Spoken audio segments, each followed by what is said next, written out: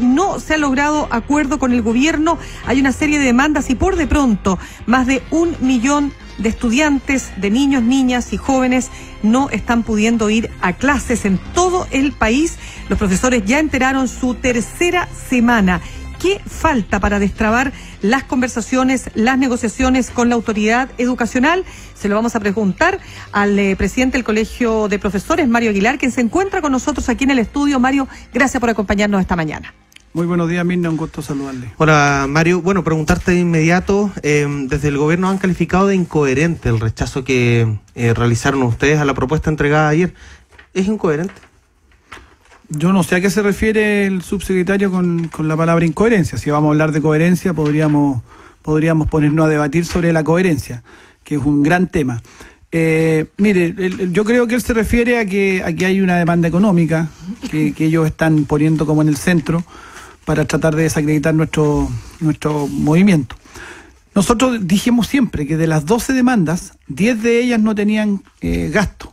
Eso fue lo que dijimos siempre. Y efectivamente hay 10 de las demandas que no tienen gasto y dos sí lo tienen. Y una de ellas es el tema de la educación diferencial, que el, subsecretario y la ministra han salido como a tratar de, con eso, de desacreditar nuestro movimiento. Perdón, el subsecretario y la ministra, porque la ministra no ha conversado con ustedes. No, no ha conversado con nosotros, pero cuando salió públicamente ayer habló de ese tema de, de, la mención a las educadoras diferenciales. Y habló con esta forma de hablar de verdades a media a propósito de la coherencia, y las verdades a media son finalmente mentiras porque ellos hablaron de que esta demanda costaría 30 mil millones de dólares. Por de pronto, digamos que 30 mil millones de dólares suena una cifra muy espectacular, pero para el Estado y su presupuesto son 44 millones de dólares al año, al año, para resolver un problema a 30 mil personas, que son más o menos las que estarían involucradas en esta solución. Eh, no suena una cifra tan grande. Es un, es un Paco Gate, por de pronto. Un solo Paco Gate, que son 30 mil millones de dólares más o menos que se han robado o un negocito, la, la coima de una compra militar, la coima. Es más o menos lo que en un año solucionaría un problema a 30.000 personas. Pero, pero, la cifra es engañosa además. Sí, es que quiero entender cuál es la demanda, porque para que todos nuestros auditores que están escuchando hasta ahora entiendan que ese es un punto donde no se ha logrado eh, generar eh, acuerdo. Quiero saber, ¿cuál es el punto exacto que tiene que ver con los, las educadoras o educadores diferenciales y parvularias o parvularios? Sí, es un tema que es una discriminación muy odiosa que tiene nuestro sistema. Nosotros dentro de la estructura de salario de un docente tenemos un pago del título. Y el título tiene, cuando tiene una mención, es un, monto adicional cuando el título de uno tiene una mención. Por ejemplo, yo soy profesor de educación física y me pagan la mención en educación física. Las educadoras diferenciales y de párvulo, cuando su título tiene una mención, a ellas no se las pagan y estudian los mismos cinco años que el resto, estudian en, a un mismo, una malla universitaria de una discriminación que no, se explica muy bien. odiosa, absolutamente odiosa. Desde que existe esa ley, el año 2007. Y es una discriminación muy odiosa que se ha demandado por años que se solucione. Distintos gobiernos han comprometido a hacerlo, en el Congreso hay eh, demandas al respecto, exigencias, y nunca se ha hecho. Y por lo tanto, no es tanto un problema de plata, ya, ya llegó un momento en que cansa esa discriminación, cansa ese, ese que existan profesores de primera y segunda clase. Mario, pero ¿qué eh, estamos conversando con el, con el eh, presidente del Colegio de Profesores, Mario Aguilar? Mario, ¿Cuánto representa del sueldo ese bono? Porque si el gobierno dice que no hay plata para pagar estos 42 millones,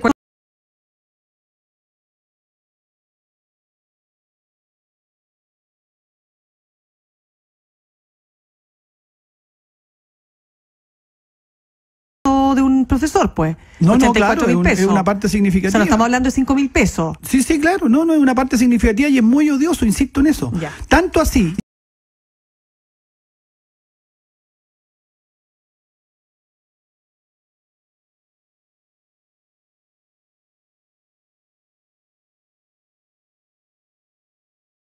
Ya le molesta estudiar una gradualidad en el pago. Y nosotros le dijimos que sí, que en vía de solucionar un problema, un odioso, un odioso problema de discriminación, nos parecía que era explorable que hubiera una gradualidad en un tiempo, que no fuera todo de una vez. Y ellos mismos lo propusieron. Y sin embargo después retiraron esa propuesta. Parece que de otro lado, de la moneda o de algún lado, les quitaron el piso, yo lo voy a decir así con esa franqueza, esa fue la sensación que nos quedó, que les quitaron el piso, y eso es bastante poco serio, porque genera la expectativa de que si tú estás conversando y en una conversación en, una mesa surge un tema, la contraparte te hace una propuesta, uno entiende que eso ya está en la mesa, que no es no es una jugarreta esta cuestión, no se puede llegar y poner un tema y luego ordenarlo como si nada. Mario, ¿hasta cuándo se va a extender este paro pensando que hay eh, menores que no pueden ir a clases, que estamos a puertas de las vacaciones de invierno, que se va a mover el calendario? O sea, acá hay una afectación también a muchas familias, muchas personas. ¿Hasta cuándo se va a extender? Por supuesto, y lo entendemos y nosotros somos los primeros interesados en que esto se solucione. Yo ayer hice un llamado a la ministra a que nos sentemos hoy a conversar. La llamé por teléfono desde el, desde el mismo punto de prensa. Estaban ahí los medios y yo delante de los medios la llamé y no contestó. Entonces, eh, si, si, si, si, la ministra está tan ausente en este conflicto, si uno no la ve eh, que se involucre, si hay un problema de esta envergadura, tú lo describiste bien, Mirna, cantidad de profesores en paro, cantidad de alumnos sin clase, tú lo dices, lo que afecta a esto, nosotros estamos absolutamente conscientes y por eso queremos sentarnos, ojalá hoy mismo, con la ministra a conversar. Mario, pero nos parece que ella debe involucrarse. Pero, pero, ¿hasta mm. cuándo? Bueno, Hasta que se solucione no, no van a decaer en eso. Por supuesto, el, el, paro está definido como un paro nacional indefinido. Hubiéramos querido, esto empezó hace tres semanas o estamos en la tercera semana, hubiéramos querido que hubiera durado dos días. ojalá lo menos posible. Si se ha extendido es porque el gobierno no ha tenido voluntad de dar respuesta real a los puntos de nuestro petitorio. Mario, tú decías algo muy importante, conversamos a esta hora con el presidente del Colegio de Profesores, Mario Aguilar, y es que eh, de los 10, de los 12 puntos o de las 12 demandas, 10 eran sin financiamiento, o sea, no, no requiere que el, que el Estado se meta la mano al bolsillo, eso dices tú. Pero hay un punto que hablábamos al comienzo, antes de comenzar la entrevista, que tú señalas que eh, tiene que ver con cuestiones tan básicas como mejorar la infraestructura, terminar con la plaga de ratones, eh, insumos para que los baños no estén en las condiciones desastrosas en que se encuentran algunos baños. Cuéntanos un poco qué está pasando con eso. Eso es meterse la mano al bolsillo, en todo caso. Sí.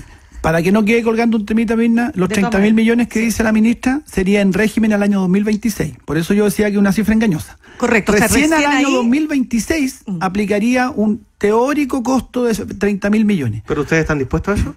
Nosotros estamos dispuestos a conversar el tema que, puede haber una gradualidad, estamos disponibles a que, aquellos presenten una propuesta, pero no como ahora que se cierran absolutamente. Mario, vamos al tema, porque eh, a ver, parte de lo que está pasando en el Instituto Nacional, que lamentablemente se ve opacado por estos overoles blancos y estos jóvenes que entienden que la violencia es la, es la forma correcta, ¿no es cierto?, de expresar sus demandas, y lo único que hacen es finalmente tapar las demandas, porque mucha gente se pregunta, bueno, ¿cuál es el problema del Instituto Nacional? Los overoles blancos o los, las Molotov. Nadie tiene idea de los problemas de fondo que hay en el Instituto Nacional, que es uno de tantos problemas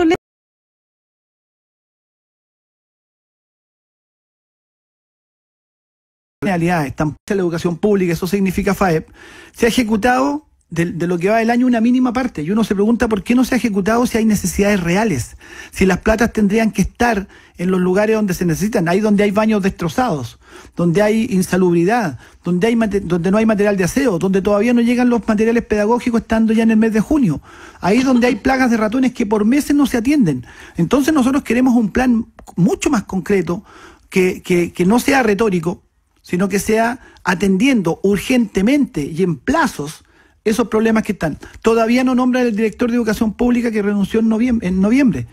Es un cargo importantísimo, porque justamente porque venía del gobierno anterior y terminaba su plazo y, no repostuló. y de noviembre a junio todavía no se nombra quién lo sucede. Entonces tú tienes una dirección de educación pública céfala, sin, sin dirección, tal cual el nombre lo indica y la función que corresponde, y, el, ministerio todavía no lo nombra. Entonces, dime si eso no demuestra abandono, si eso no demuestra desidia. Y la sensación que tenemos todos es que como a este gobierno no le gusta lo público, como finalmente, más allá de la retórica, no cree en la educación pública y le gusta más bien la cosa privada y, cree en eso y cree que, que esto es una industria educativa y que la educación es un bien de consumo, todo muestra que ellos simplemente quieren que la educación pública caiga, porque además, aquí está el truco, la ley contempla que el año 2021 se evalúa este, el funcionamiento de este nuevo sistema. Y si tú lo dejas caer y dejas que funcione pésimo el 2021, la evaluación que puede hacer el presidente de la República puede ser, mire, esto no ha funcionado, así que nos retrotraemos y se deja sin efecto la desmunicipalización. Entonces, grave lo que está pasando. Ya, eh, Mario Aguilar, estamos conversando con el presidente del colegio, del colegio de Profesores en una entrevista que nos eh, daba acá a la prueba de ADN la senadora Yasna Proboste, ex ministra de Educación. Ella hizo una acusación muy directa a la ministra Cubillo. Dijo que está empeñada en desmantelar la educación pública incluso acusó una, una, mala gestión de los servicios locales de educación, que son los llamados, ¿no es cierto?, en un espacio, o sea, en un tiempo escalonado, a ser los que van a administrar los liceos que hoy administran las municipalidades, un proceso que es gradual. Ella eh, incluso decía que se estaba haciendo casi eh, eh, atornillando al revés, o sea, es impedir finalmente que estos estamentos funcionen para finalmente generar este cambio tan esperado que es la desmunicipalización. ¿Hay algo de aquello, Mario Aguilar? ¿Qué opinan ustedes respecto de eso? Bueno, lo que yo decía, la sensación que tenemos es que, es que a ratos parece que ese abandono es intencional. Porque si tú dices, ¿por qué no se nombra el director de educación pública? Si es insólito. Mm. O sea, los cargos se los pelean, cualquier cargo público, pero este, justamente este, con la importancia que tiene, simplemente permanece acéfalo durante todo este tiempo. Entonces, claro que tenemos una sensación parecida a la de la senadora Proboste, que por lo demás en su región hay uno de los servicios locales nuevos, el, de Huasco, que ha tenido una cantidad innumerable de problemas, que justamente fue uno de los que estuvo en paro largo, antes del paro nuestro, porque habían estas situaciones que yo estoy describiendo. Ahí en ese, en ese servicio local se han producido muchas de estas situaciones que estoy describiendo. ¿Pero hay alguno de estos servicios que esté operando ya? ¿Hay algún liceo que haya sido desmunicipalizado todavía? Sí, no? sí, hay cuatro servicios hay locales. a nivel nacional. Eso agrupan a un montón de comunas. En Santiago, en Santiago hay uno ya, que es la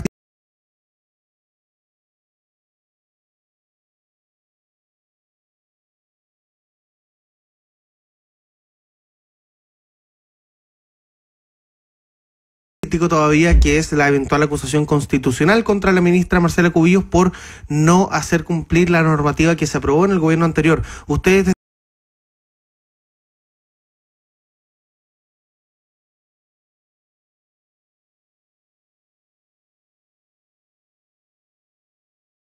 Yo creo que hay. Entonces, cuando usted tiene una ministra que, por ejemplo, cuando andaba en la gira de admisión justa. En febrero que en, enero, casi enero, febrero, casi completo, dedicó solo a eso, mientras estaban ocurriendo estos problemas, porque ya en el verano nosotros anticipábamos los problemas de los servicios locales de educación y muchos otros. Estábamos en plena negociación. Nunca se ha involucrado en la negociación con nosotros. Pero le quiero el ejemplo. La ministra aparece en una conferencia de prensa con padres que amenazaban que si no los dejaban en el colegio en que ellos querían, no iban a mandar su hijo al colegio. Y ocurre que hay una ley en Chile que se llama Instrucción obligatoria, en donde los padres estamos obligados a enviar a nuestros hijos al colegio, y la ministra estaba avalando entonces una amenaza absolutamente legal, cuando ella lo que tendría que hacer como ministra es fiscalizar que todas las familias envíen sus hijos al mm. colegio, y, ella estaba, entonces hay distintas situaciones, la no implementación de las normas legales adecuadas, no nombrar al director de educación pública, a mí me parece que es un, un cumplimiento legal, y así siguiendo, hay bastante antecedentes, pero, pero bueno, eso lo tienen que decidir los parlamentarios pero nosotros vemos muchos antecedentes en donde no se cumple lo que es la función de un ministro de Estado. Mario Aguilar, finalmente quiero precisar un punto ahí que tú señalabas, porque yo, yo mostraba el ejemplo desde ayer también eh, de lo que estaba pasando en el Instituto Nacional, en que finalmente nos olvidamos de lo que está pasando y nos quedamos porque naturalmente es mucho más impactante ver jóvenes totalmente vestidos con estos famosos overoles blancos, tirando molotov, amenazando, generando estos niveles de violencia. Para ti, ¿qué explica ese fenómeno? ¿Cómo lo evalúas y qué harías tú con esos jóvenes? Bueno, ese es un fenómeno mucho más complejo y más estructural que, que, la forma simplista en que lo está abordando el gobierno. Cuando el gobierno supone que esto se resuelve únicamente con expulsiones, únicamente con revisión de mochila, está reduciendo el problema a una cuestión absolutamente mm, periférica de lo de fondo. La pregunta que nos tenemos que hacer, ¿qué pasa en nuestra sociedad? ¿Qué nos está pasando como, como, como, como ente social? En donde jóvenes suponen y creen que el único camino es la violencia. ¿Tú qué opinas de eso, de, esa, de esa eh, decisión de estos jóvenes, de que su manera de manifestarse sea a través de, estos, estos actos, extremos? Por supuesto que es condenable y tiene que tener algún tipo de sanción, situaciones graves como por ejemplo rociar con benzina a un funcionario, a un profesor o profesora, un asistente y amenazarlo con prenderle fuego. Sin duda esos hechos no pueden quedar impunes y tiene que haber una sanción, pero el tratamiento... ¿Ley aula segura? No, no, no. Justamente a lo que iba. El tratamiento de fondo no puede ser únicamente la contención. Si tú supones que únicamente la contención y sacar la manzana podrida, como dijo el, el, alcalde de Santiago, cuando en realidad lo que tú tienes es un problema mucho más de fondo. Te voy a hacer otro símil. El joven que entra en Puerto Montt con un arma de fuego y dispara a sus compañeros un joven de clase media, común y corriente, de una familia normal. ¿Qué nos pasa en la sociedad nuestra que nuestros jóvenes están creyendo que la violencia irracional es el camino para resolver conflictos? Y tenemos un problema muy grande al interior. Y eso es lo que nosotros tenemos que reflexionar y abordar. Ya, pero tú dijiste algo más. Tú dijiste que estos jóvenes estaban haciendo el juego finalmente a aquellos que no quieren una buena educación Por pública. supuesto, por supuesto. Es este camino errado, en donde es probable que estén instrumentalizados también por adultos. Eh, y, y yo no descarto infiltrados, incluso infiltrados. Nosotros tuvimos en nuestra marcha un, eh, la primera en Santiago, 80 mil personas, una marcha maravillosa, y de repente justo aparecieron dos tontitos tirando unas molotov, que no tenían nada que ver con nosotros, no habían sido invitados, no eran parte de la marcha. Esos son funcionales al gobierno. Son funcionales finalmente a, a- a que todo se mantenga como está, a que se justifiquen aparatos represivos más duros. Para dejarlo claro, tú dices que son infiltrados del gobierno o enviados por el gobierno. Podrían serlo, yo no descarto aquello porque están funcionando.